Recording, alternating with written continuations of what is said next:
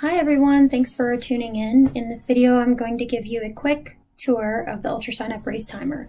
If you're planning to use the Race Timer for the first time to time your event, then please watch this video and also head over to help.ultrasignup.com where you will find um, tutorial videos that break down everything that I'm going to go over in this quick video. On help.ultrasignup.com, you will also find a guide that I created that explains how to test the timing app prior to your event. So I encourage you to utilize that resource as well. And best practice is to start maybe a couple weeks prior to the event. That way, should you have any questions, you can reach out to the Ultra UltraSignup team and we can help you out. So let's get started.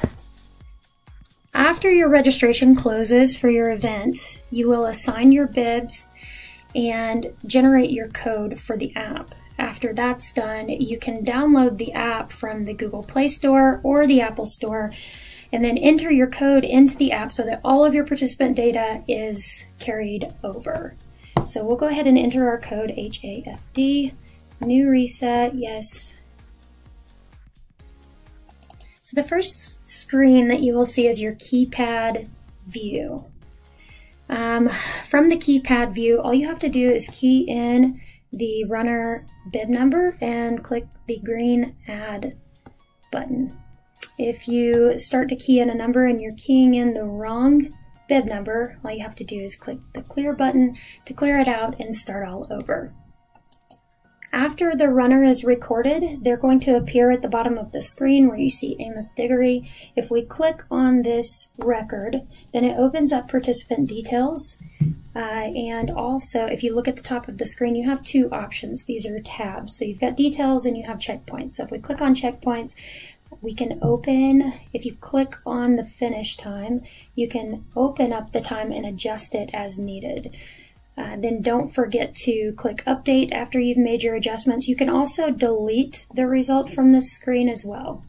In the top left corner, you'll see a back button and that'll take us back to the keypad view. Some other things that you'll see on this page, you'll see a list of your distances. So in this case, I only have one distance. It's the 50 miler. And so if you have multiple distances, they would be in a list here.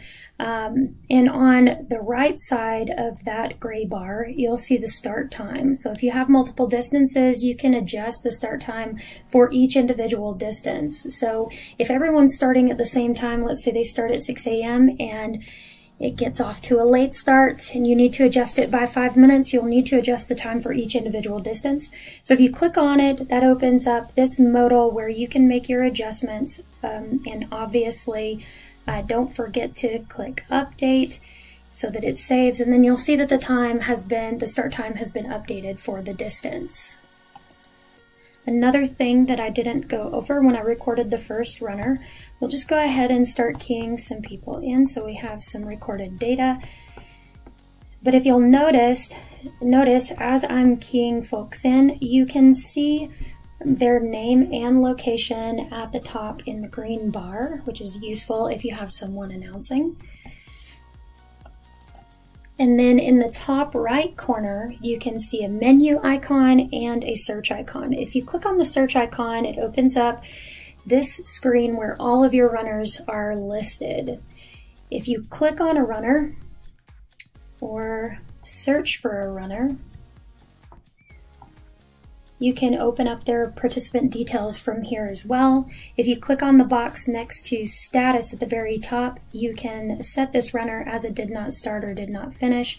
If you accidentally set someone as did not start or did not finish, you can select the empty box and that puts them back into the event. Uh, and then also you can adjust checkpoint details from here as well. So heading back to the keypad view and doing so by clicking on the arrow, the back arrow in the top left corner of the screen. If we click on the menu, the first item in the menu is bib tab. So let's go there. From this screen, it will display all of your bibs and you can simply tap to record the runner's finish time. Um, you'll also notice that in the left corner under the red bar that says finish line, you have your distance and your start time as well. And if you click on that, you can adjust the start date, the start time, just as you would from the keypad view. Again, don't forget to update your adjustments and um, so that your changes are saved. So let's record a few more people from here.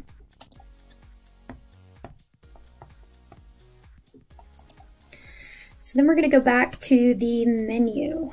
And the first option is keypad. That's how we can navigate back to the keypad screen. The next option is going to be results. So I'm going to go ahead and click on that. That opens up this screen. This is going to show your overall results. Um, as you can see at the top of the screen, there is a 50 miler tab. So if we had more distances, we would have a tab for each distance.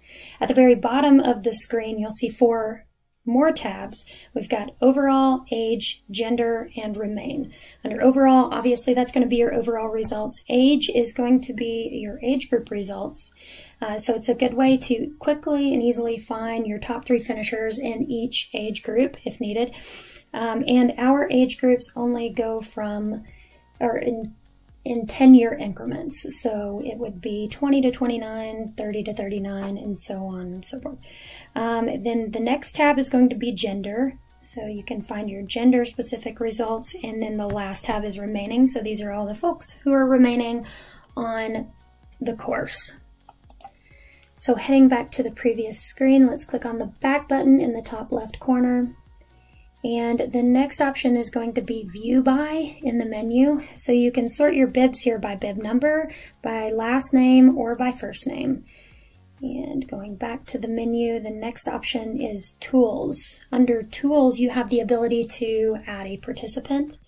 Um, and go back. So if you have race day registrations, uh, you can add your participants there.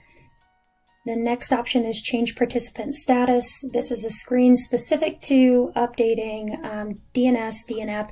So at the start of your events, if you have a, a, a number of people who didn't start, you can go ahead and start keying in their bib number and updating their records accordingly. You can also kind of burn through your DNFs if you have them um, using that tool as well.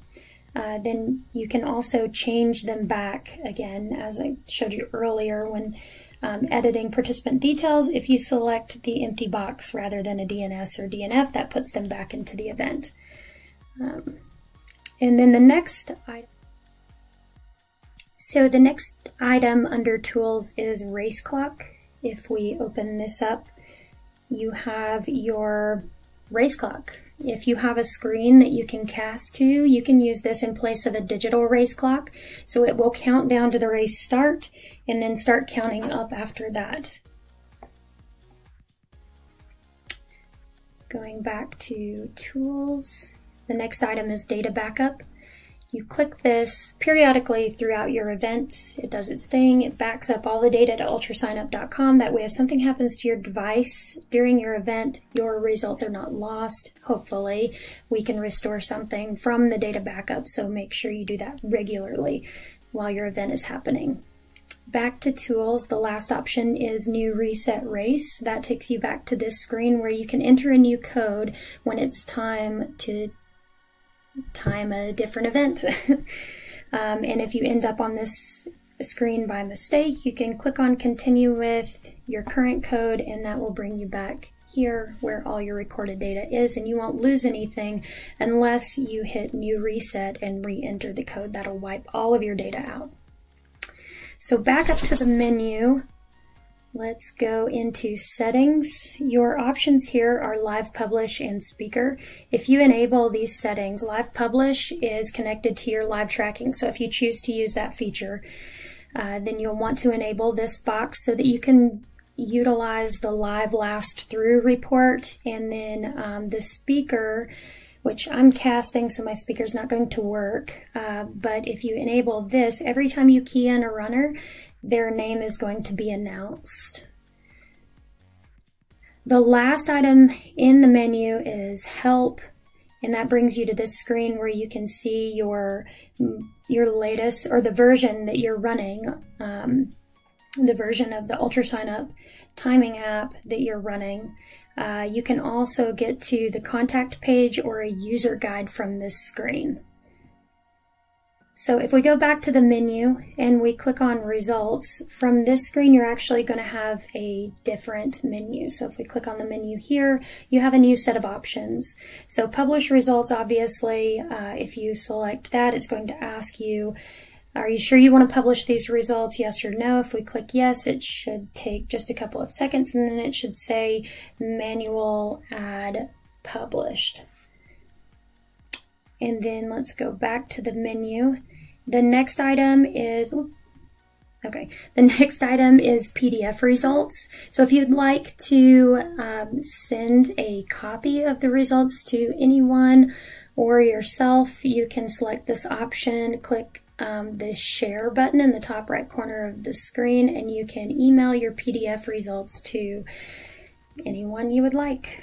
Um, the next option in the menu is live results. So this is going to redirect you. Obviously, you would have to have a data or Wi-Fi connection to be able to be redirected to this page. But um, if you click on live results, that's going to send you to your live tracking in UltraSignup. Uh, if we click on live standings, you can see the times that have been recorded here, and you can share this link with others um, so that they're able to watch the progress of their runner um, throughout the event. The next option is live scrolling. So this is just another screen where you can see the results that you have uh, recorded in the event. And the last option is delete results, which we really never want to use that. Um, yeah, there's really no reason to use that option.